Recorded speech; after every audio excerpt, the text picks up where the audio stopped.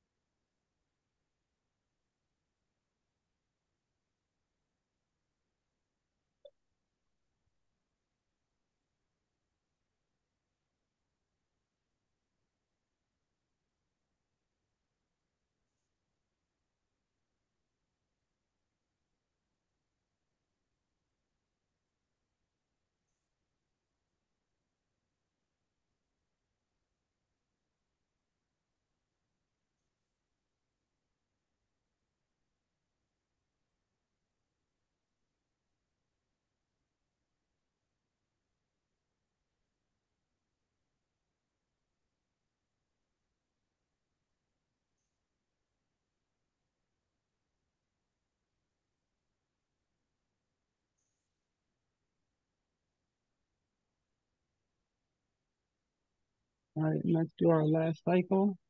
Breathing.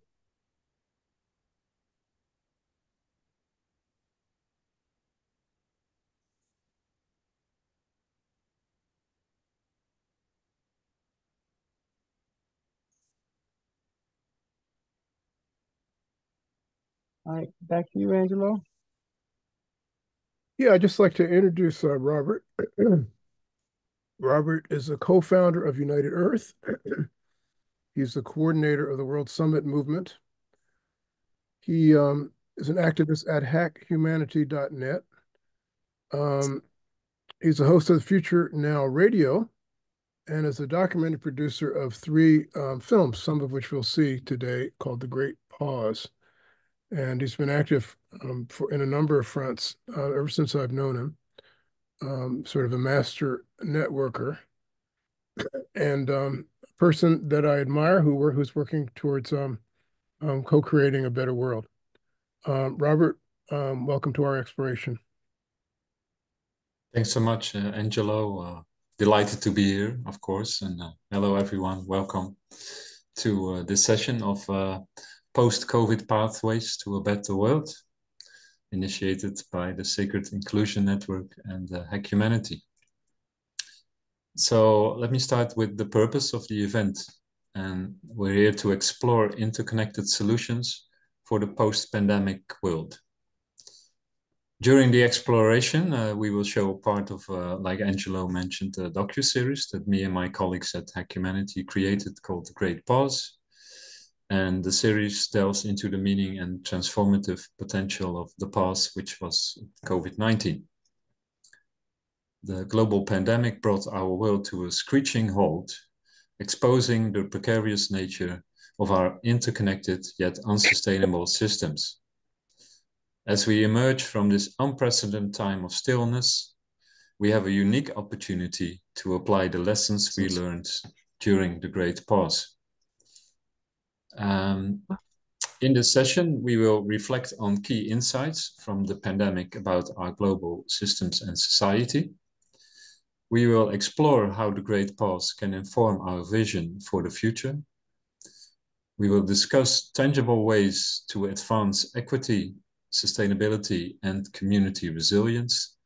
And we will hopefully leave inspired after our collective potential to drive change. Um, I will share an overview of the program in uh, the chat so you all have an idea what will happen. Uh, we will start, of course, uh, with introduction. Uh, session one will be the shift from sustainability to uh, regeneration. Uh, session two, part two, for 15 minutes, exploring future scenarios. Uh, session three will be about transition tactics. And session four about activating the critical mass. And then we have sort of a last session, uh, what can be part of the solution. We will talk about Regen Campus, uh, a sort of village for change makers to come together.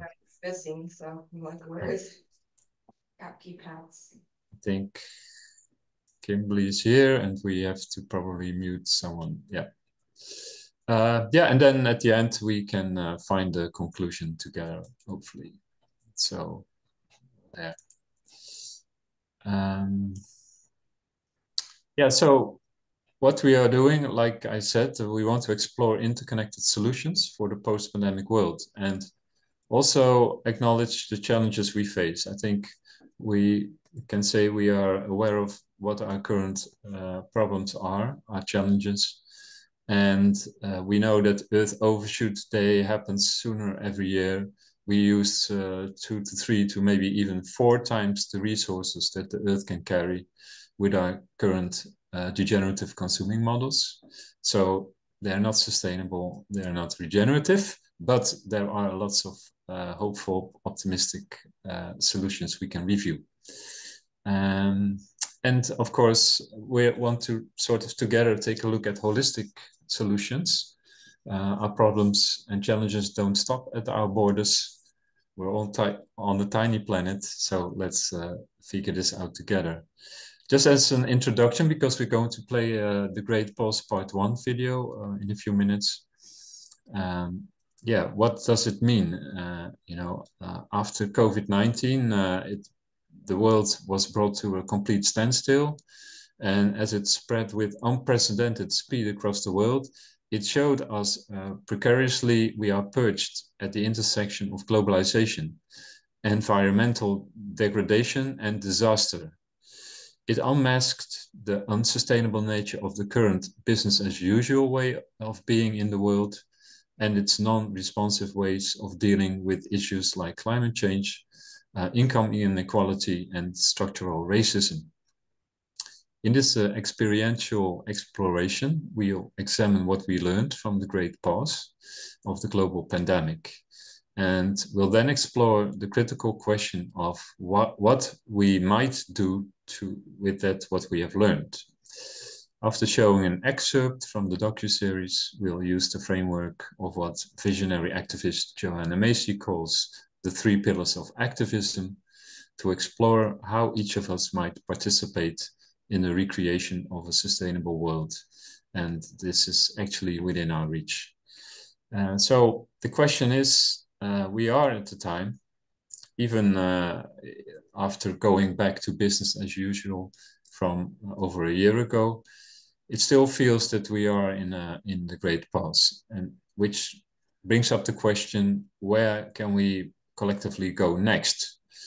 In part one, which are we going to play now, we put a critical lens on the current failing system, showing why it doesn't make sense to go back to the degenerative abnormal normal. I will start uh, with a bit of technical points by sharing the screen and share the sound and let's see. Yeah.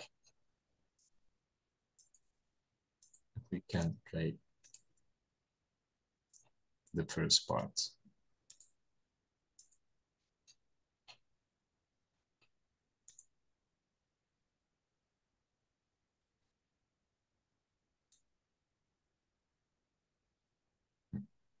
Takes uh, some time to load, probably.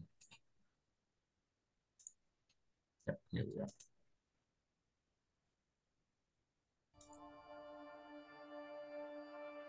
At no other time, ever in our lives, have we gotten the opportunity to see what would happen if the world simply stopped. Here it is. We're in it. Stores are closed, restaurants are empty, streets and six lane highways are barren. A carless Los Angeles has clear blue skies, as pollution has simply stopped. In a quiet New York, you can hear the birds chirp in the middle of Madison Avenue. Coyotes have been spotted on the Golden Gate Bridge.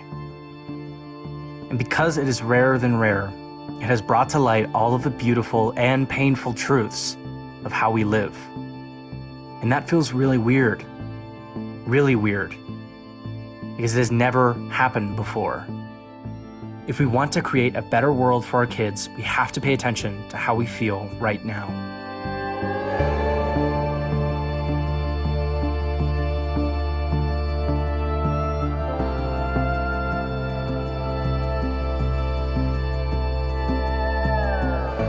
Even with an enormous number of people hidden away, not working, we can still get food on the shelves and keep the lights on.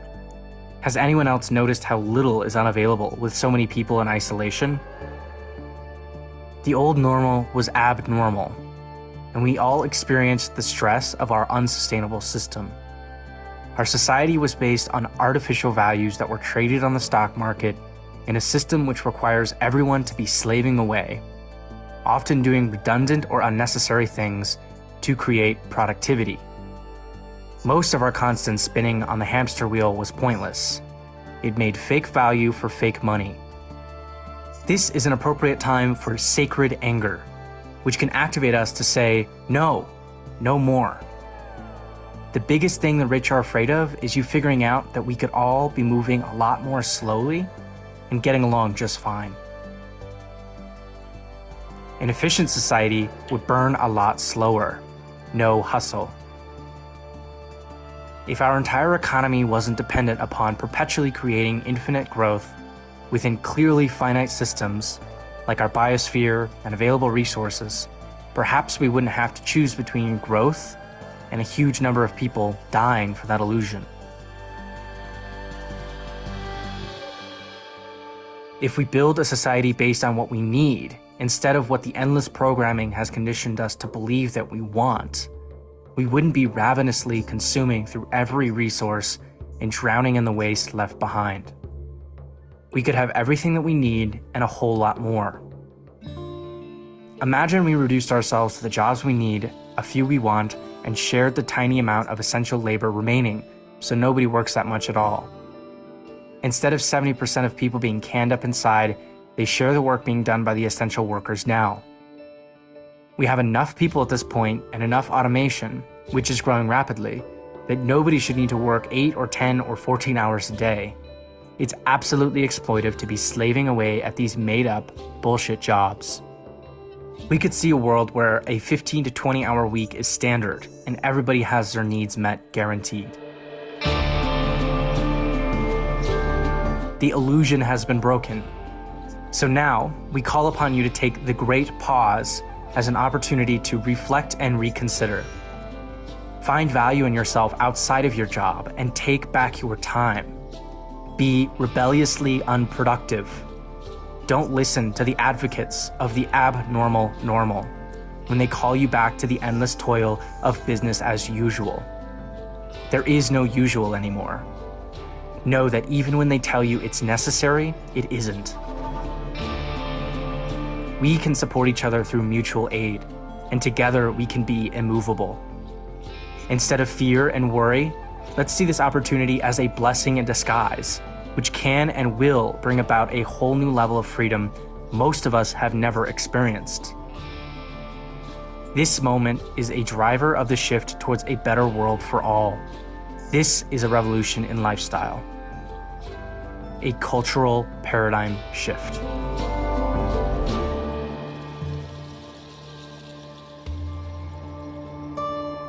Stay tuned.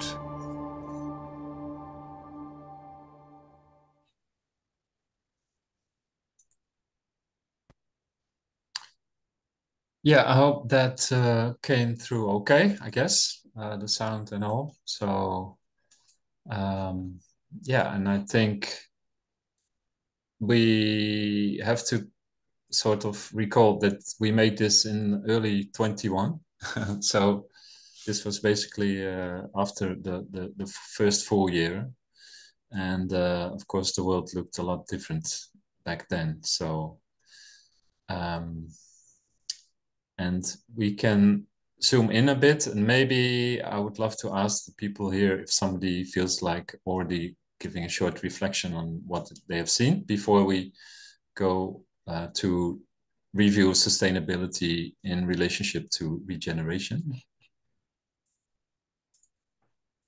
Yeah, um, I, I've been um, I've been reading a lot about um, China recently, and one of the things that I was reading about was um, their response to um, COVID nineteen, and um, one of the things among many things that happened was um, uh, they more or less um, kind of whitewashed the whole situation, so that now um, someone can conceivably come up and think that um, that millions of people did not die um, in their country as a result of that. So I'm thinking, I'm wondering, um, as you said, it's been a few years since this happened, and it's already receding in the background of um, us, those of us that live in a so-called free society. So I'm wondering, um, you know, how that impacts going forward or the incentive to go forward uh, in a in a more sustainable or regenerative way. Yeah. Yeah, it's a good question and observation. Uh, I think uh, there are more examples, of course, where um, and yeah, the history books uh, are changed quite easily. Um, to be honest, uh, I think the the newer, the younger generations are, are like uh, uh, we experienced through generations are more open towards change and I can only say that hopefully, yeah, there is enough incentives there also among students uh, at universities to sort of keep keep an eye on what's really what actually happened and that we don't forget too soon what happened.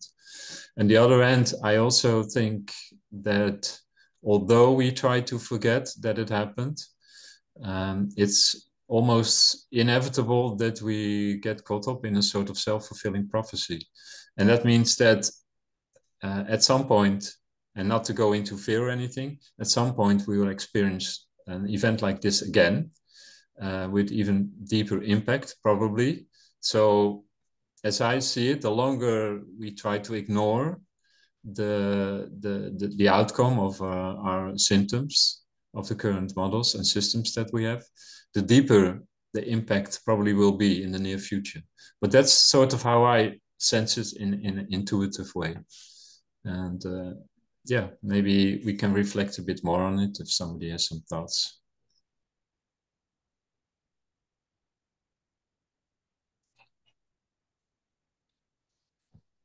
Sure. Okay. Yeah. I can go next. Um, so I watch all three videos already.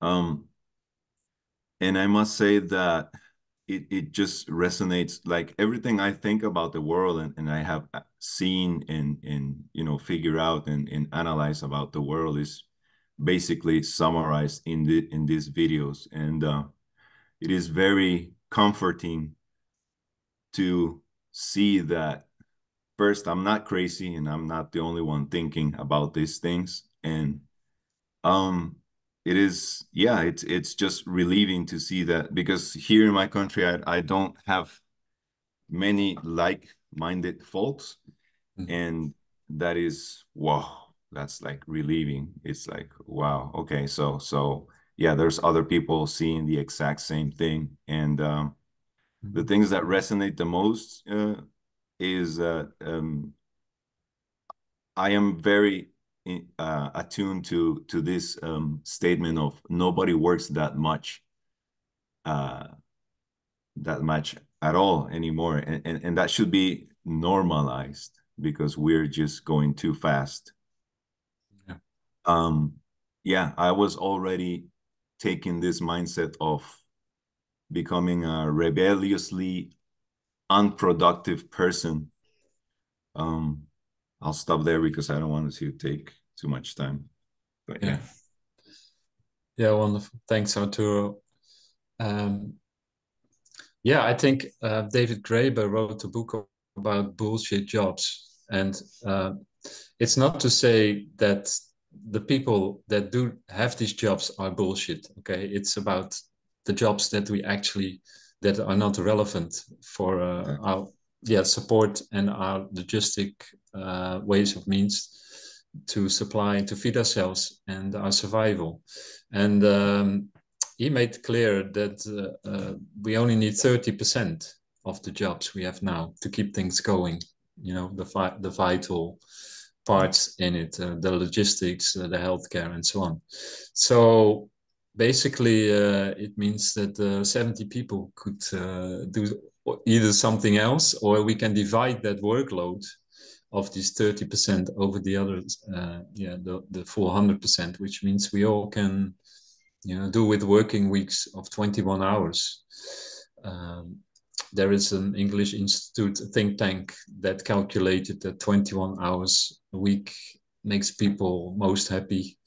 It's a perfect balance for work and uh, living conditions. And uh, yeah, it's it's really astonishing to see that uh, we still hang on to these uh, artificial jobs while we can have a lot more relief. So thanks for that, Arturo, and uh, for being rebelliously unproductive. Uh, someone once shared with me that people could maybe be more like cats. Cats, they they watch themselves, they play, and they eat and they sleep. And uh, for the rest, yeah, they people are uh, really um, taking a lot in the current systems from Earth. And uh, it was just something that came up for me now. Maybe um, we can follow through to the next topic. Uh, if nobody else wants to share some thoughts, we can go. Kimberly? Yeah, I'll just share i mean the way the conversation is is now it just um i don't know i feel like slightly joyful and that might be inappropriate but just that that vision i mean i've thought of this stuff like for a while you know that i just don't think we're here to here to work our whole lives and then die. You know so so i've had that thought for for some time and um, just a, a vision of a way to really you know sense into what i also noticed in the film right? The not just the slowing down but the the beauty that's there um that's all around us even in the chaos too. I mean um I just feel in my body that that feels just right. So thank you. I, I didn't actually know what this was today. I was curious about it. So um, thank you. Yeah. Thanks, Kimberly. Yeah, and I, I do appreciate that you feel this uh, this joyfulness because there is a lot of to be optimistic about. And maybe on the first sight you wouldn't say this when you watch the news, okay? Uh, and a, a, lot of terrible things are happening with wars and so on and, and famine. But also we can put the lens on the positive solutions and see what's possible. So I'm I'm very happy that you you catch this feeling now, because I think um, there are lots of things to be joyful about, and uh, let's focus on that for the, the coming uh, hour. Uh, I will share my screen again. I will show you some slides. Here we go. And we'll put this on. Okay, so we'll wait till it loads. Yeah. So we've been talking a lot about uh, SDGs. Most people know it as the Sustainable Development Goals and still a lot of people haven't actually heard about them but uh, they're coming from uh, the UN to sort of uh, yeah transition towards sustainable ways of uh, living. There are 17 goals that they came up with almost uh, 10 years ago already, um, and I want to discuss a bit about what it means if we want to design things sustainable, but also what it means if we would shift towards uh, regenerative goals. And what is the difference? Uh, basically, you could say that a regenerative design is a way of designing a building, a village, or a system, where in principle you get more out of it than you actually put in. So that's um, yeah the main the main uh, difference. Uh, this is opposite to a degenerative design, where we use more resources than we put in, uh, and where there's um, obviously an energy and uh, waste leakage. So and why is this important? Uh, here you can see some uh, bullet points about sustainability, where the focus is on maintaining and preserving current systems. Uh, it's about minimizing damage or reducing negative impacts. Uh, sustainability is also maintaining the status quo in a way that doesn't compromise the future. And um, we have examples like recycling, energy efficiency, and reducing carbon emissions. Well, that being said, it's all good and well, but what is then regeneration? That has a focus on actively restoring and revitalizing ecosystems. Uh, it also is focusing on aiming to enhance and rebuild rather than just preserve. And the philosophy behind it is doing more good, not just less harm. So it's a different mindset. And last but not least, uh, reforestation um, and regenerative agriculture and uh, community uh, revitalization projects are examples. So yeah, it, it's the next step. It's, it's more inclusive and um, yeah, in essence, we can say that while sustainability aims to slow down or stop de uh, degradation, regeneration seeks to reverse it. And that's a big difference. Um, we are going to talk a little bit later about the three pillars of activism. But um, I think for now, this is good. So we can pick up the discussion again. I will stop the sharing. Yeah, so any thoughts uh, in the group about this part?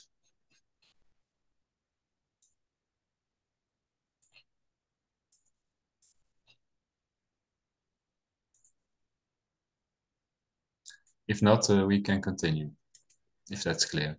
Yeah. Okay. Um, yeah, I think uh, uh, we are flowing to the next session, session two, and we are going to explore future scenarios. Um, I think we will play part two of the Great Pause a little bit later, so that's good. Um, and we're going to talk about uh, stepping stones, but basically we're going to review three different scenarios that could possibly happen within uh, the current uh, period that we uh, are experiencing. Um, to just put it plainly and brief, we have three possible scenarios, and I'm naming only three for uh, to review our discussion here. The first scenario that could happen uh, with our societies is implosion. That means uh, systems uh, crash. Um, we have a lot of chaos, uh, probably a lot of uh, negative side effects like famine and war. Certainly something that we don't want together. So, but it is it is a, a realistic uh, scenario option. The second one is that we shift uh, from uh, a degenerative system to regenerative systems and we can do this within with stepping stones. So a bit more uh, yeah on the long term. So we can implement a number of solutions which might take 10 or 20 years to shift towards more sustainable and regenerative models. And i want to review the last um, option here, the last possible scenario is sudden shock. So when something like COVID happened, you could see that we were able to shift very quickly uh, in no time, in six months after the first shock waves, we a lot of people were working from their homes. Uh, we had to adapt very quickly. Uh, there was an enormous stress on healthcare. Um, that yeah, so and it was an example that if we need to shift, we can do it. And I want to reflect with you guys uh, and to hear your thoughts about these different scenarios. And maybe you have another one to add.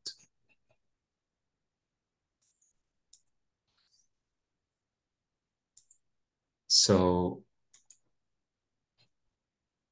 Uh, I mean, I, I guess I can share. For me, it's um, it's just kind of crazy to hear you say these things so flat out.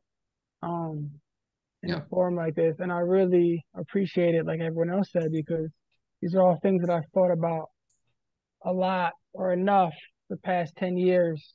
And um, I don't know, for me, I think I've, I'm trying to move past like kind of figure out which one is going to happen and just trying to put myself in like the best position that during it I can thrive and and that's why so I moved to Ecuador and I'm trying to live a more rural life in like a small community that is maybe a few steps in front of other places with like like-minded people thinking about things like this. And um so that's that's how i'm trying to i guess make a difference. And um but it really is re- invigorating to hear someone like like you speak flat out about these topics and create movies or documentaries to show people kind of what's happening and the way you just bluntly saying what happened i think that's powerful and i appreciate it. Thanks ian. Uh, it's really good to hear. Uh, yeah. Um, to be honest, I'm quite, uh, and maybe before we go to Susan, I saw you on mute. Okay. But yeah, as a short reflection, Susan, before you go, uh, I'm, I'm, I'm, I'm quite, um, I see myself as uh, being a bit cautious in communicating using language that sort of is neutral. And I must say, in this case, um, I've grown past past that I think we need to be more clear and direct uh, towards each other. And uh, we can tell each other all kinds of, you know, nice stories and that make us feel better or less scared. I can understand that totally. But I think transparency is really needed uh, at these um, times that we are experiencing. So thanks for that, Ian, for that confirmation. Uh, and of course, there are many, many people more that uh, are reaching this point of consciousness that let's just talk about what we actually, what's happening and what we can do. Susan.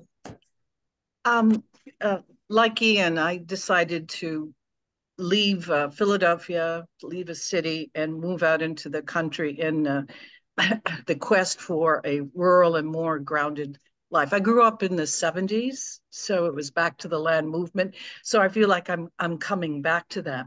what I'm experiencing is uh, uh, in in my community. There's a lot of lip service for you know uh, recycling and getting EV cars and what have you.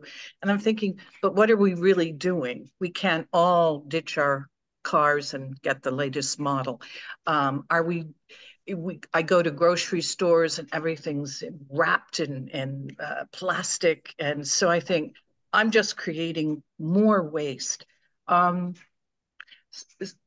I think, what is it? We, we give lip service. Uh, politicians aren't listening. Um, I really uh, am at a baffled by what I can do personally to effect a change within my community, within my county, within my state, obviously within my country. Yeah. Yeah, thanks so much uh, for that. Yeah, I think in essence, it is, it comes down to, uh, and at least that's what I feel like sharing. Um, instead of uh, fighting symptoms, we have to get to the root causes. Okay. And be clear about it. And uh, of course, it's good that we recycle um, circular economy, uh, also a lot of greenwashing going on. everything we do, even in a small scale in your personal life, it is important for sure, but it's important that we focus on the root causes. And that brings us back to why are we keeping these systems going? I don't want to put the blame on a certain system. I think the current systems brought us a lot of uh, you know welfare and uh, technological development. That's really great. Uh, but we have to also acknowledge and be frank about the fact that they are outdated. And we can keep uh, using them or hold on to them till we feel there is maybe you know no use for it anymore. But like you say, most people or most politicians, uh, not to point a finger, but within our current systems, they're even not able to make really uh, prominent changes. So let's take a, a, look at the root causes. We can talk a bit about it more later. I want to flow a bit to the next video unless someone else feels like putting in some thoughts.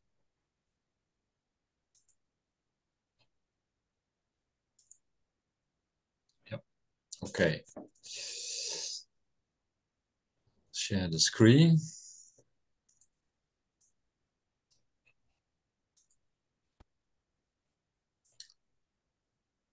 Okay. And just to give you a, a brief introduction, uh, in part two of the Great Pause, we zoom in uh, on the possibilities of how we can solve our problems at the root cause level. The COVID-19 lockdown is a case study that proves that we indeed can change society very quickly if we have compelling reason to do so.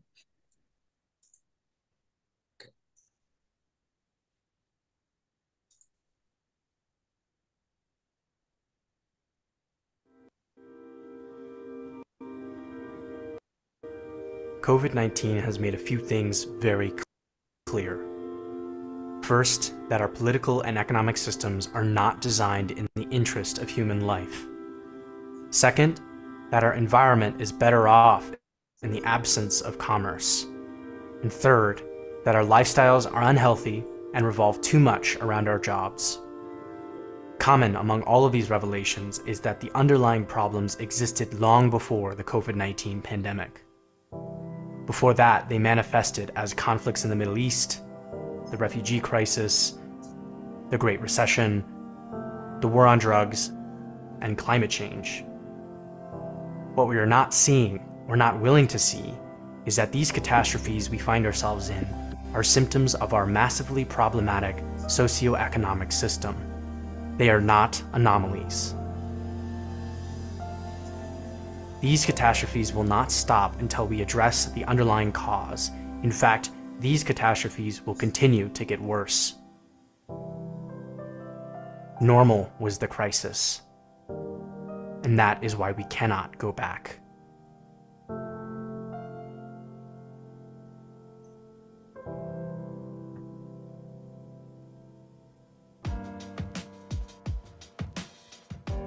We live in a world of great abundance, an abundance of land, food, shelter, and technology. Technology which is constantly increasing our capacity to produce said abundance.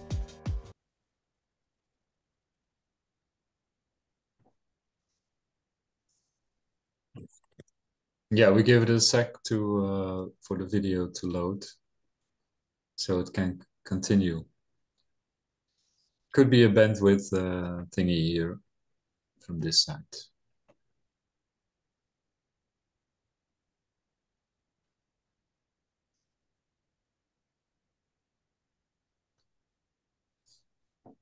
Yeah, and I think it's already uh, good to see, uh, you know, to be optimistic about the solutions. Uh, you can see here very briefly uh, an, automatic building system the 3D printing. Uh, I think this was three years ago, and at the moment we can already print houses and offices like three stories high. So that's really amazing. I hope this will work, and otherwise, if it takes too long, we might have to shift Angelo to your side if you might be able to play it. Okay. have to get it up. Yeah, if you can find it, just give me a cue and I will stop sharing. All right, give me a second. Yeah, sure.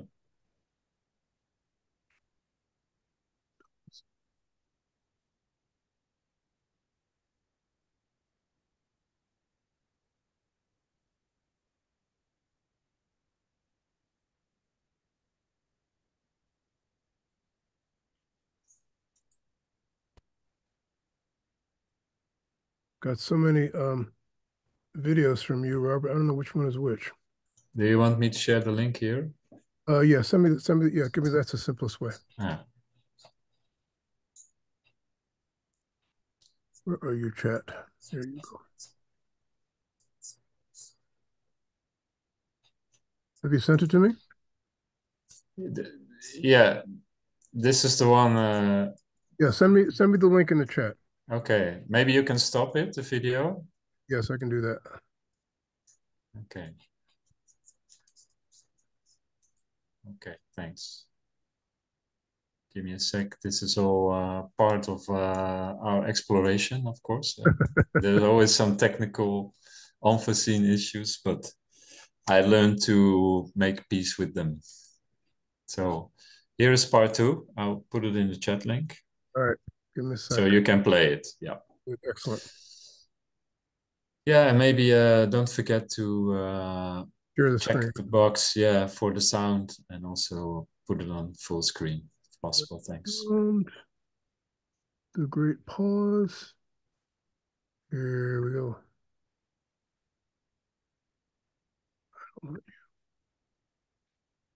All right, here we go. So, um, Yeah. Can you put it on full screen? yes, It's on the right. COVID 19 has made a few things very clear. First, that our political and economic systems are not designed in the interest of human life. Second, that our environment is better off in the absence of commerce. And third, that our lifestyles are unhealthy and revolve too much around our jobs. Common among all of these revelations is that the underlying problems existed long before the COVID 19 pandemic. Before that, they manifested as conflicts in the Middle East, the refugee crisis, the Great Recession, the war on drugs, and climate change. What we are not seeing, or not willing to see, is that these catastrophes we find ourselves in are symptoms of our massively problematic socioeconomic system. They are not anomalies. These catastrophes will not stop until we address the underlying cause. In fact, these catastrophes will continue to get worse. Normal was the crisis. And that is why we cannot go back.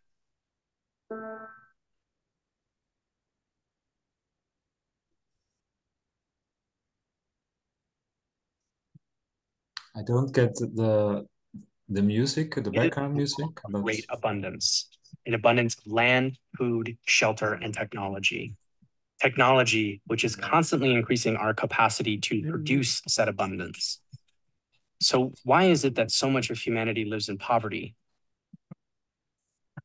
Why is it that a million tons of surplus rice and grain rot in silos? Why is it that hotels have enough vacant rooms to light up hearts while the homeless are given taped off slabs of concrete outside. And then, out of the blue, governments approve trillion dollar aid packages and send checks to their citizens.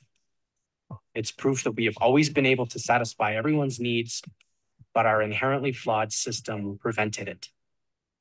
It is the monetary market exchange system, its underlying philosophy and rules that are the problem. Such a system survives by maintaining scarcity. Not only a scarcity of products to keep prices high, but scarcity as a lifestyle and as an economic mindset. Governments are pushing to reopen the economy because the economy depends on the working class, something else that's been revealed, but also because governments know the working class can't afford to stay home. Yes, if we go to work, we might get and spread the virus, but if we don't go to work, we might starve. And we are seeing many people trying to exercise the minimal choice they have in a way that preserves some sense of dignity or honor. They are going back to work to put food on the table. unwilling to see themselves as victims. We want to call these people ignorant or irresponsible, but let's be clear. Fellow members of the working class are not the enemy. It is now apparent that one of the main reasons COVID 19 spreads so rapidly is because governments, such as those in the United States and China, laid down and even arguably covered up the severity of the coronavirus because they knew it was politically and economically devastating. It is no wonder that these countries were hit the hardest. Public healthcare and education, institutions that protect and empower the population, have been overlooked for decades. Governments are playing the only game they know how to play, one where resilience and sustainability are sacrificed for efficiency and productivity. We've seen this play out before, but on a much larger scale climate change. We have known about it for decades, and there have been almost no substantial systemic changes to address it. Conspiracy theories and disinformation peddled by the political and economic elite attempted to delay the inevitable. Both of them working together and working just as they were designed at our expense. We know that a growing economy corresponds directly to worsening environmental conditions. And now we also know that an economy on pause corresponds directly to improved environmental conditions. The normal we would return to was one that was already headed towards catastrophe. We must not return to normal because normal was the crisis.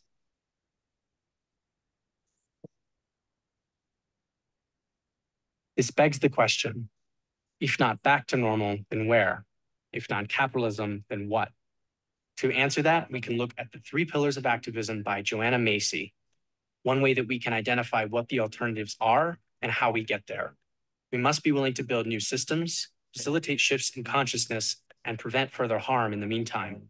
All three pillars are critical, and no one form of activism will do the trick. The situation we are in now is essentially a case study, and a shift in consciousness is already occurring. The global test case has proven, for example, that our current systems are fragile, that we are capable of radically changing our lifestyles almost immediately, and that most of our jobs are non essential. Not only do we spend an excessive amount of our lives working these jobs, but many contribute nothing to society. Many are superfluous, not created out of a need or demand or the well being of humanity for that matter, but out of the desire to extract value value, most of which goes to the capitalist, not the worker. Here we are labeling jobs otherwise underpaid and undervalued by society as essential. This is why we need a massive values reassessment. COVID 19 is allowing us to realize that the true value is first and foremost in meeting our basic needs. It is in safety and belonging, connectedness with nature, ourselves, and our community. Having the time and energy to address these global challenges, however, is especially difficult for those they affect the most, those who don't have the luxury of seeing beyond their most essential daily needs. This is why holding actions are so important, as they address those immediate needs and prevent worsening conditions for the most vulnerable populations. Climate strikes, rent strikes, supporting food banks, providing housing, universal healthcare, and education would all be considered holding actions a universal basic income, something we've seen implemented during the lockdown in countries around the world, is also a holding action. It holds governments responsible for helping to meet the basic needs of citizens. It could be a crucial step in the process of building a new, better alternative, because by meeting everybody's basic needs, we can break free from that oppressive, artificially generated cycle of scarcity and begin to think about the future. Holding actions make the revolutionary transformation accessible. However, they would be endless and futile if there weren't also people working to address the root causes of such inequities. The third pillar is to build new political and economic systems. Part of shifting the consciousness is to break from this rigid dichotomy of capitalism versus communism, democracy or autocracy. There is, in reality, a whole world of possibilities with historical precedent and evidence to back them up. Many activist groups are now organizing to align and synchronize their efforts because they too see and understand There are so many great regenerative ideas that make sense. We must be willing to embrace them, knowing that the status quo just won't do. A universal basic income paired with a 20 hour work week can help us transition to something even more prosperous, like an open access economy, where we shift from ownership to stewardship, having access to basic goods and services whenever and however we need them without a price tag, finally benefiting collectively from the abundance our world provides. As COVID-19 has proven, we are able to maintain essential infrastructure, even with far less people going to work. We were all forced into the great pause, but now, as they beckon us, we have a choice, knowing more clearly than before just how empowered we are. We could dismantle our degenerative systems simply by us choosing not to go back. No problem can be solved with the same consciousness that created it. We are in a raging river, scared and holding on to a branch, battered by the rapids. Only when we recognize that our system of government and our economic systems are not only outdated and flawed in their design, can we let go, scary as it may be. But we can take solace in the fact that we have somewhere to go, things to do. And that is designing a new system that makes the existing one obsolete.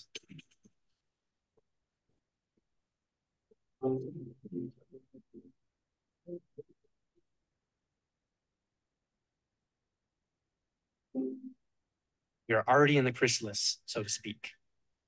That much is true. Now, whether we emerge a beautiful new creation is up to us. Stay tuned.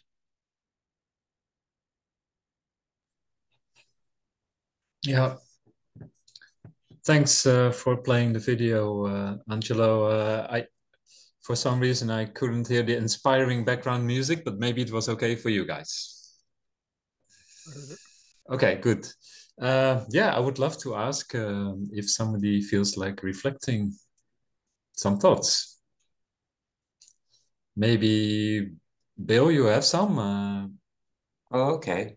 Yeah. Um, yeah, I mean, of course, I agree with all the the need for uh, systems changes. You know, for the creation of new systems that was uh, brought up, and of course, for holding actions and shift in consciousness. Um, concerning the shift in consciousness, um, you know, I think in the Sacred Inclusion Network, we've, we've often talked about this. You know that um, there is also a you know, spiritual dimension to to this uh, that needs to be included.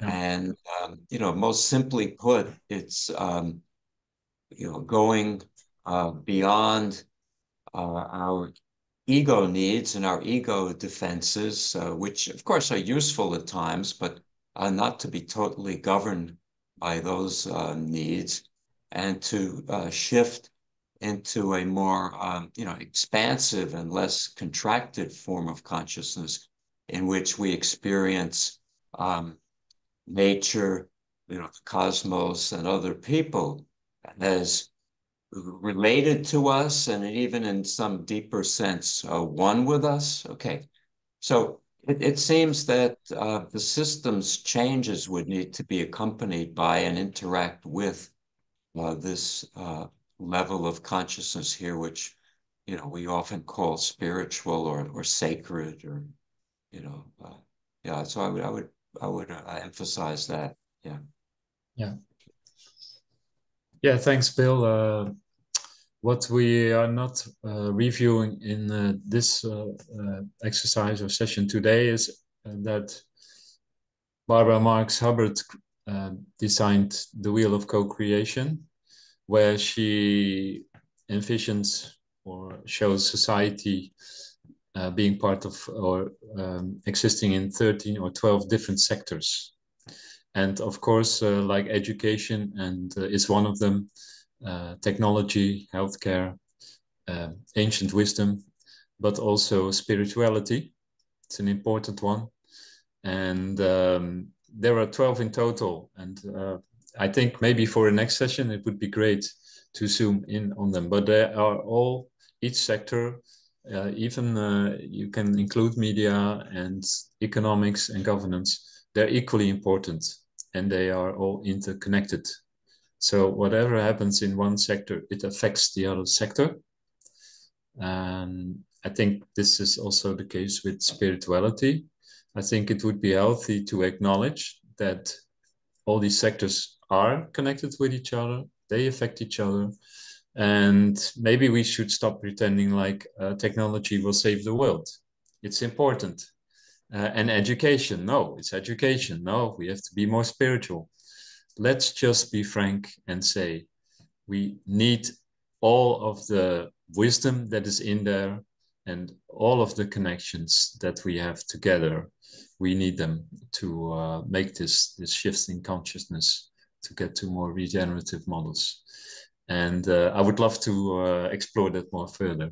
Maybe uh, if no one else feels like reflecting we can zoom in a bit now on uh, these three pillars. I will share the screen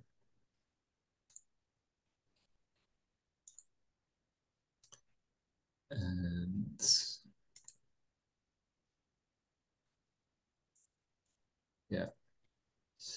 So uh, yeah joanna macy uh, and you, you've seen this flashing in the video. She came up with this uh, three pillars of activism. And basically you can see that uh, the holding actions pillar where all the protest groups are uh, black lives matter fridays for future extinction rebellion and so on they are uh, confronting us with the symptoms. So people are there going out on the streets and saying no more you know we don't want this anymore. That's it. It's protest and civil disobedience fighting the system and stopping the damage right now. Then you see uh, the orange one on the left bottom, the shifts in consciousness. Uh, there are a lot of people, change makers, thought leaders with brilliant, uh, beautiful ideas, solutions, concepts, and uh, we are sharing them. Uh, we can see them on TEDx, we can share them through uh, media, uh, but there are a lot of new concepts which can help us to make the shifts in consciousness and also that we can let go more of our conditioned beliefs. Um, so that's the shifts in consciousness pillar. And then we have the new systems pillar. There are over uh, uh, hundred thousands of uh, groups, platforms, people, millions of people working on building new tools. And these tools are uh, used to implement them in new systems and they are addressing root causes. So it could be an app, it could be a, a blockchain technology, it could be a, a, something with a robot. A lot of groups are uh, putting a focus on that. And what Joanna Macy is saying that uh, yes, it's important to protest, and certainly yes, it's amazing that we have these shifts in consciousness and that people build new systems. Wow, that's far out you know uh, let them do it. But what she is saying is that most of the pillars the three are working in silos. That means uh, they're not really interacting with each other and supporting each other. So basically she's saying if you protest for something uh, come up with the solution. So bring the solution also what what the new concept uh, uh can be or should be and also build the tool to implement it. Uh, and that makes it important how we sort of can um, spark this critical mass that's already there. There are about half a million to a million active platforms and groups and organizations, and everyone, uh, like we just briefly reviewed in the separate sector of the 12 or 13 sectors, are focusing on their specific important part. But um, I think reaching this critical mass, which is maybe about three to five to 10% of uh, all the people that are working towards creating better models. And that's the one part that we can be very optimistic about and uh, happy about. Yes, they, we have to find a way sort of to make them work in symbiosis together. So again, yes, let's protest, but also bring in the solution and implement and bring in the tool to implement the solution. I think that's an important part of it. Um, basically, uh, uh, yeah, shifting like we discussed before from fighting symptoms towards addressing the root causes and suggesting holistic models. And uh, we can do this through a number of transition tactics. I would love to hear ideas from you what we might do, but uh, like Milton Friedman said, only a crisis, actual or perceived, produces real change. When that crisis occurs, the actions that are taken depend on the ideas that are lying around. A lot of ideas are lying around for a long time. Here are just a few. Uh, with the Hack Humanity group and a lot of other groups, we came to uh, our 10 uh, regenerative development goals, transition tactics, not to say this is the solution, we should do it this way, because we found over 60, there are way more, but it's to show that there are solutions that we can implement right now if we would be able to do it together. Okay, the first one is to meet everyone's basic needs. And uh, you could implement universal basic services or universal basic income. This is not the end solution, it's a stepping stone. It means uh, if you combine it with a 21 hour work week and job sharing of essential work, there is a recalibration, a rebalance in the whole system. A lot of people will feel happy with that. Uh, again, it's a stepping stone. Uh, creating a mutual aid network to provide basic needs is one of them. Create safe communities free of racism and discrimination. We have, uh, uh we can talk about global citizenship and world passports you know, in addition maybe to our country passports. It doesn't mean that if we have a world passport uh, that we lose our identity. It's just to show that we are interconnected and we, that we are thinking in holistic solutions. We can eliminate hunger. 30% of the food that we are producing is wasted or thrown away. It's not sane. Uh, water is of course very important. The redistribution and uh, keeping rivers and our water supplies clean is uh, very important. We can do it. Universal healthcare for everyone. In some countries, it's basic, it's free. Uh, it's something we can implement just like that. And homelessness. Uh, at least 20% of our buildings are empty uh, empty hotels, empty um, uh, utility buildings, empty hospitals. We could repurpose them, we could renovate them, we can give everyone a sheltered home if we want to. In some southern European countries, thousands of villages are empty, abandoned, because the youth left the villages to find work in the big cities. So let's think about that. Um, of course, we can end the refugee crisis. We still read every day that people um, step into unsafe boats to cross the ocean to find a better destiny there, and they drown. That's not sane, people. That's insane. It, we should not let this happen at all. Uh, we can implement uh, eight forms of capital. That's another uh, review discussion because Beside fiat capital, we have seven other forms of capital. Spirituality is one of them. Uh, intellectual capital. We have experiential capital. Uh, there's a lot more resources there.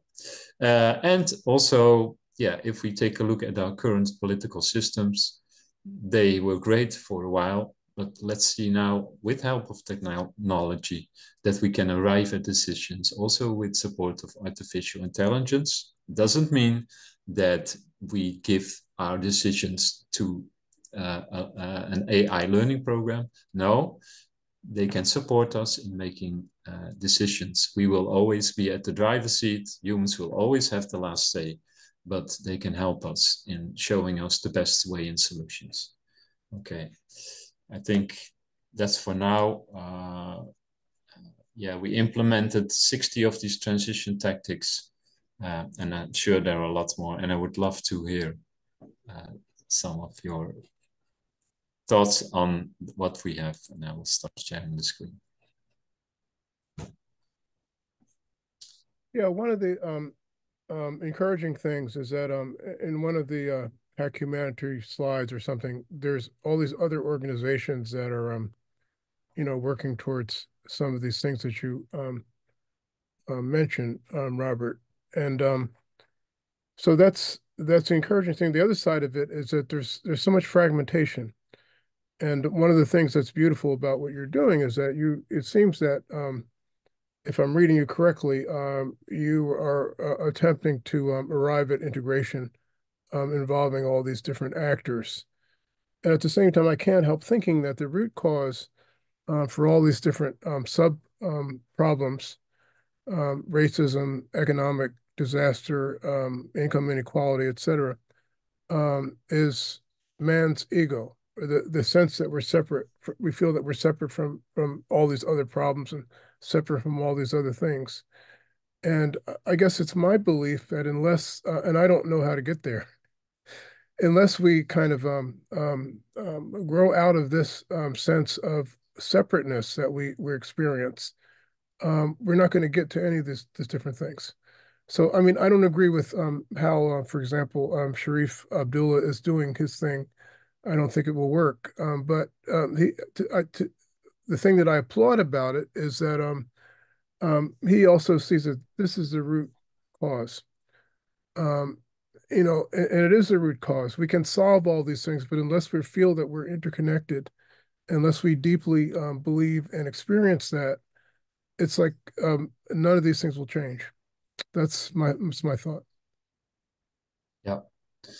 Wonderful, Angelo. Uh, I would love to reflect on it now, uh, if you uh, let me. Um, you know, one of the basic uh, root causes or uh, symptoms that we experience is uh, safety. So the, the lack of psychological safety and also not meeting our basic needs, okay, having shelter. I think if you take a look at uh, racism, uh, and maybe you're aware of the redlining concept, that uh, in some suburbs in cities, um, some financial institutes at some point started redlining uh, neighborhoods that have more risks uh, where you should not invest your money in. It's also uh, contains with certain school areas. So it means that people who are living in these redlined um, areas already uh, sort of are confronted with less investment in their environment. So mm, the prosperity in their development, their, the chances is less. That means that their basic needs um, are uh, that can be met are also these chances are less. So it sort of creates the incentive of creating a barrier, because when people uh, basic needs are not met and they don't feel safe, you form a sort of protective shield around yourself, a membrane. So once you can open this field up and give people these basic needs and give them this psychological safety and equality, then you automatically can, uh, and I'm not speaking like a psychologist, but you can lower these barriers, these illusionary barriers often that are there. I think that maybe touches on, on, on, on an important aspect. But again, uh, yeah, I don't feel that I'm the expert to say this is the solution, but it makes sense that it's part of a solution. Yeah. But thanks, thanks for sharing that. And uh, yeah, so in in my realm, uh, when we experience that we are more connected, that we are treated equally, then this will automatically, in a way, help us to overcome our barriers of uh, having feeling these differences and uh, uh, our consciousness that we are part of a holistic system. Maybe somebody else feels like uh, sharing some more reflections. Yes, uh, I was about to say the same thing as as Angelo did. Um, I think it's an ego problem, and I think yeah. that our biggest challenge is, of course, the current establishment and the political systems and they don't want to lose their status quo and I've been reflecting a lot about about how to approach these people because um they they, they I think they see us as our as their enemies, you know, as their biggest enemies because their status quo is being um questioned and they don't want to stop being the king or the pope.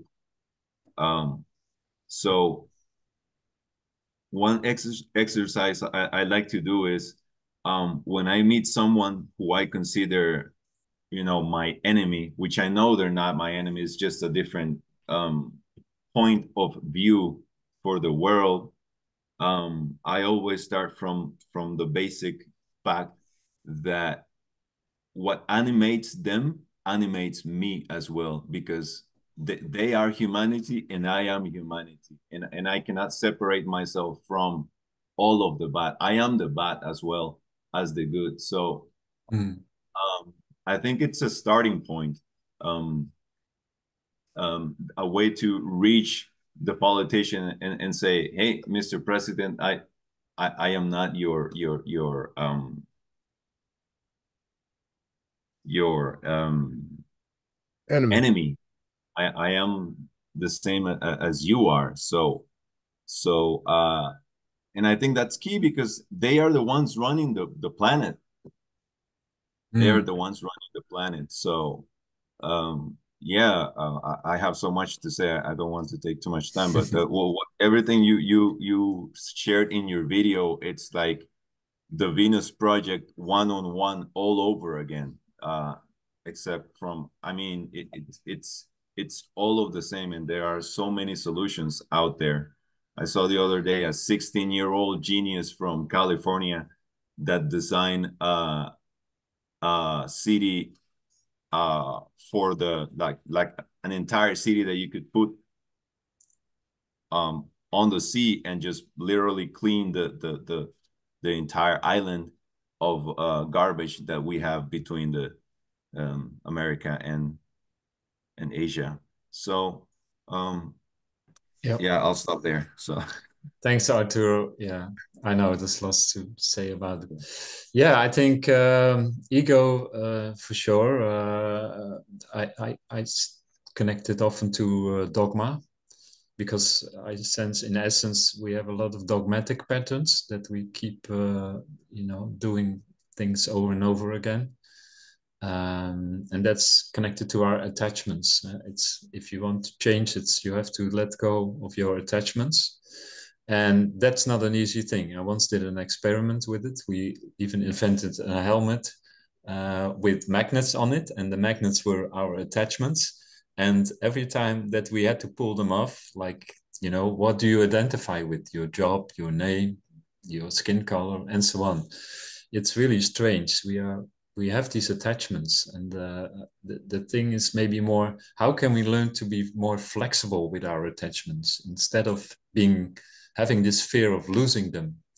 But certainly, uh, uh, yeah, ego is one of them and dogma. And let's not forget also that within the current systems, you know, it almost incentivizes, um, the incentive is there to create sociopathic behavior. And it doesn't mean that, you know, the people who sort of are in this vacuum are bad people they, they, they just experiences this dissonance from yeah and we can see this in politics also. There is a dissonance between what the people actually you know want from life and how politics want to run um, the systems and the world.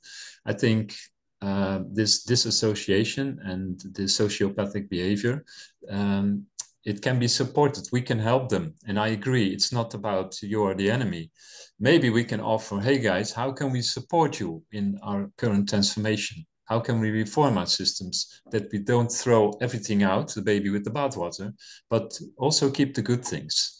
And so they don't have to be afraid of losing everything or their uh, ways of influence. So thanks for that. Um, if no one has any further reflections i would like to go to the last part Can I Uh, can I just add one? yes kimberly please What you're speaking of now reminds me of something from one of the presentations on the um, that mentioned the our uh, massive um, reexamination of our values, Yeah. right? And um, like the creating spaciousness for that, right? So so to, to counter the scarcity, like creating space and time to allow for these shifts in consciousness to occur. Whether it's by you're talking consciousness of just learning like what the existence is in a different place right now like the congo or, or you know where there's already a million refugees. Like those different scenarios i think depending on where you look are they're all here. Um but but or, or, the shifts in consciousness if we call it spiritual or, or or whatever that we you know attune to where we you know can have our own insights or just be aware of things or perceive more in a different way kind of restoring a kinship worldview. Um i think it's just from it feels like just space and time and creating that because we're so conditioned anyways and especially toward work at least where i am and um, creating these spaces and maybe in the form of massive values reexaminations while changes upon us with climate and everything else um, is a nice way of being in service Yeah. to what the new that what new wants to be born Yeah, fantastic, Kimberly. Totally aligned with that. The, the, the question might be, but how do we do this? Okay, so I will love to take you to a project that we are, a concept that we are running at the moment. I will share the screen and we can take a look at, yeah. So how do we do that? We talked about the critical mass, uh, all these uh, uh, half a million to a million active groups. And basically, you can say they are working in silos, but they're just focusing on their specific thing, what brings them joy and happiness to focus on that part of the solution. Um, but we can also say that, um, yeah, most most of them work in silos. There are groups working on solutions, and they the same solutions and they don't even know about each other's existence. So, how do we uh, find each other? There are several uh, platforms around the world that are busy with mapping. So, there are over a thousand different maps of all these activities happening. But that's just one step on, you know, on the front side to make visible what is happening in the world the next step or what could be a simultaneous uh, effort and step is how do we connect on the back end all these uh, energies and uh, this is where we're talking about a regen campus project and uh, i hope it will follow up and sometimes yeah i think angelo maybe you might have to open this too Okay. Um, yeah, thanks. can you send me the direct link? Yeah. I will stop sharing.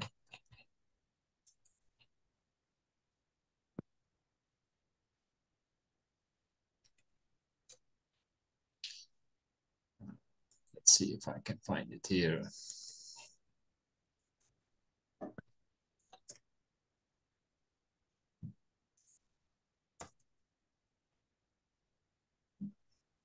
Maybe you still have the document at hand that I shared with I you do, before.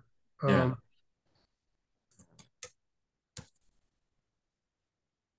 I got. I don't know if this is the right one or not. All right, let me share my screen and we're gonna have to figure it out, Robert. Yeah, yeah. All right, this is the one that I'm looking at now. I have to share the sound. I don't know about the sound.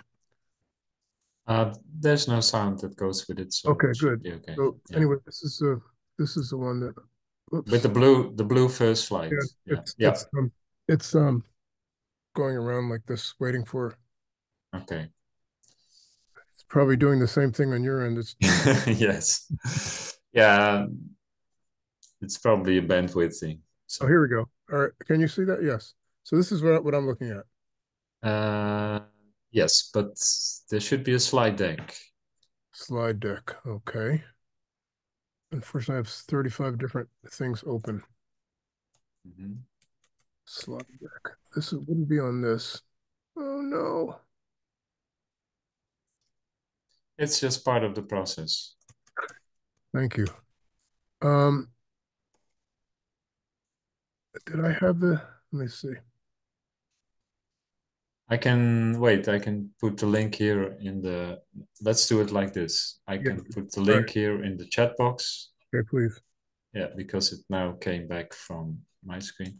And uh, everybody feel free to open the, you know, the slide deck and take a look at it later. Yeah, it's in. It, okay.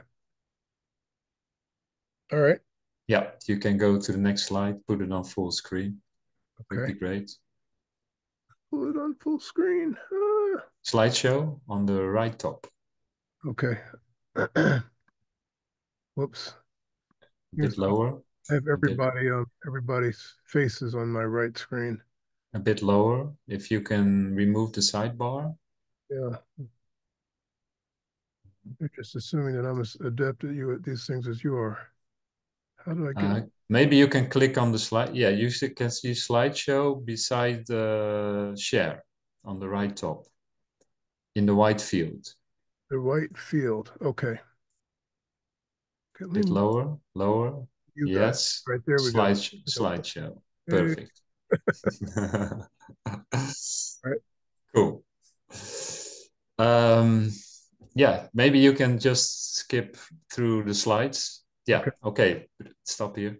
So this is uh, what we want to do in Asheville. There's a lot of uh, transformative energies happening. Uh, Charles Eisenstein used to live there. Daniel Schmachtenberger, one of uh, yeah the most prominent thought leaders of this time, he's creating an academy nearby Asheville. We want to build a regen campus there. So basically, we found a partner in building regenerative villages. Um, between eight to 12 weeks, they can build 77 uh, homes. You can see the concept here. They build some uh, models in Europe, but it works uh, only when people have uh, land to offer, free, free, debt-free land, where we can uh, build these uh, homes. It, people who live there pay rent. It's very simple. Basically, the whole project is bootstrapping itself. And um, because people pay the rent is all, are also for 50% financing the building costs and there are green funds. I, don't, I will not go into all the tech, but maybe next slide. Yeah, here you can see uh, these uh, 13 sectors that we talked about, which are all connected and influence each other. In the middle, you can see love and sexuality that goes through all the sectors, as we know.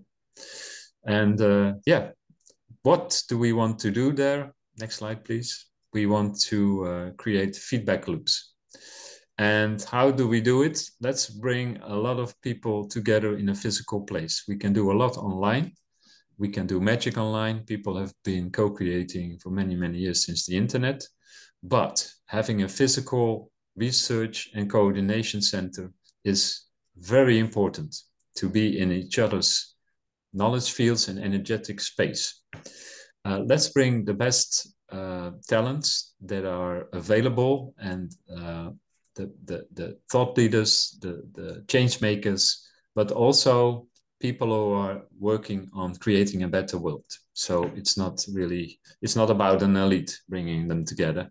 It's about the people who actually feel this very strong drive, this calling, this mission that that is the reason why they are following their path.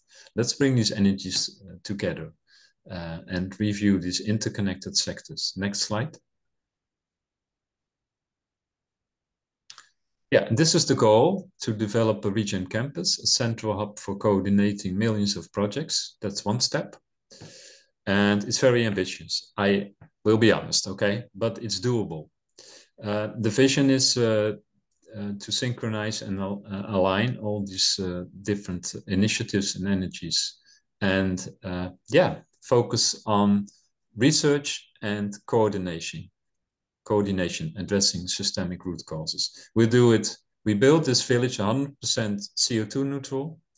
It's a proven system, 100% energy neutral and 100% knowledge sharing. That's very important because a lot of knowledge is stored in fragmented silos. Next slide. I see we're almost uh, at the end, but like uh, mentioned, many, many groups. Maybe you can skip a bit more and I can say stop, Angelo.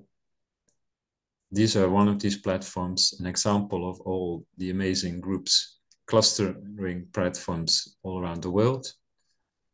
That's what we want to coordinate. I didn't mention that I am a coordinator by heart and nature, so uh, I would love to be part of a team.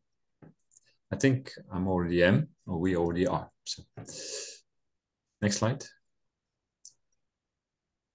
Yeah, we are researching capital. Next slide. Here are the eight forms.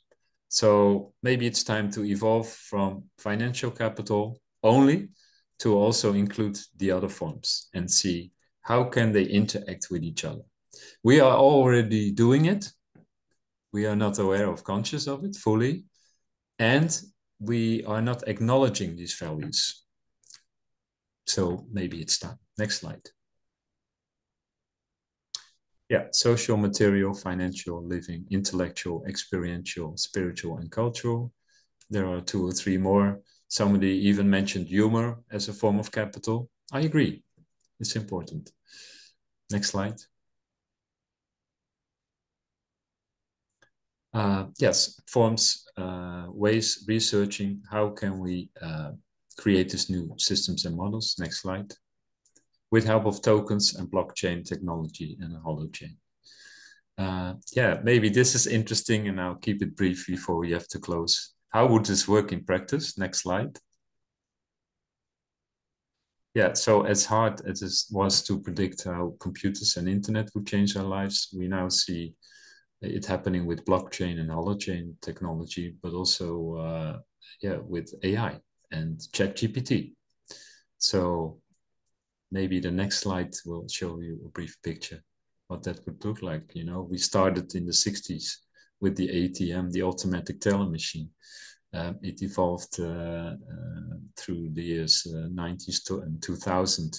We got to Bitcoin, and what will be the next phase? These eight forms of capital interacting with each other through a highly developed DApp. Next slide. Yeah, this sort of tells the story. Next slide, please. Yeah, again, the Regen campus, there are uh, uh, two locations in development, one in Flat Rock and uh, one in Asheville. I would love to share more about it, but uh, we're uh, over the time, so maybe we should stop here. Um, the main idea is to, uh, you can stop sharing the screen, Angelo. Yeah, thanks. The main idea is we can bring all these brilliant concepts together and uh, yeah, let's spark the critical mass together. Thanks so far. I would, uh, maybe we can take a minute or two, Angelo, to, uh, to wrap it up and to go into our final thoughts.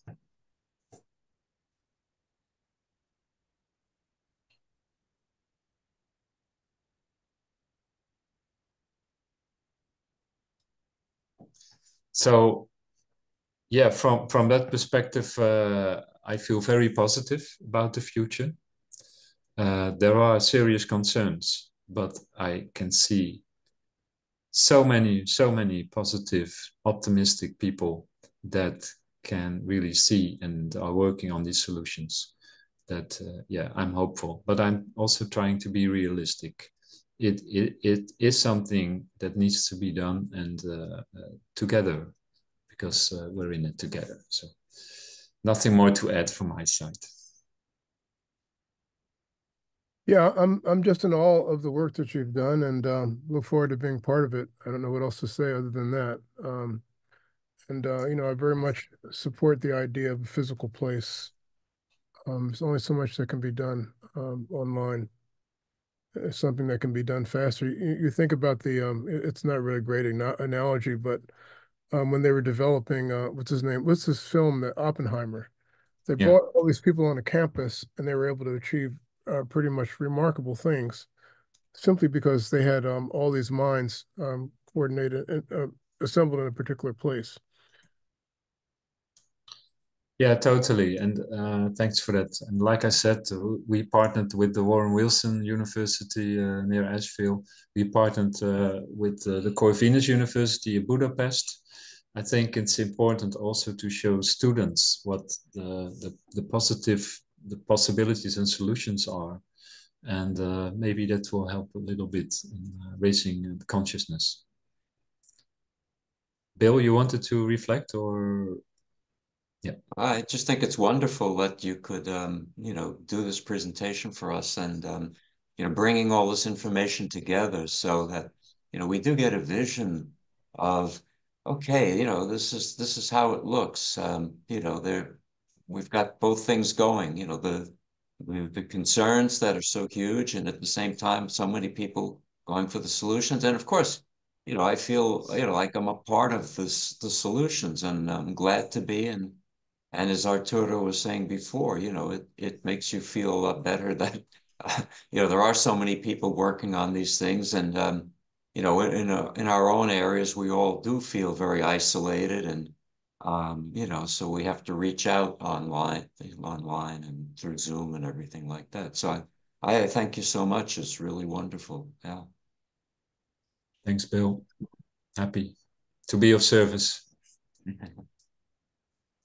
Yes, thank you, Robert. That's uh, a lot of work put on this project, and yeah, I really appreciate that. Uh, I'd like to. I just want to add one thing that uh, might seem irrelevant, but uh, what I, I I love this idea of circular housing, and I I think uh, I just think we need to uh, put our um, uh, I I think we we should stop building square boxes.